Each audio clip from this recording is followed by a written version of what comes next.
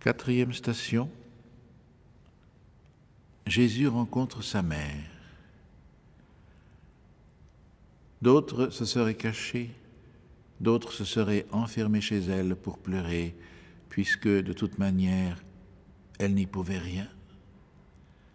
Mais parce qu'elle avait appris de Jésus les exigences de l'amour, la voilà sur le chemin de sa souffrance comme elle était avec lui sur les chemins où, blotti dans ses bras, il fuyait la férocité du roi Hérode, comme elle était avec lui sur la route du pèlerinage de Jérusalem, où déjà elle devait se sacrifier pour qu'il soit aux affaires de son père, comme elle était avec lui à Cana, où, au milieu de la fête, par le miracle de l'eau et du vin, il signifiait déjà le mystère de sa mort.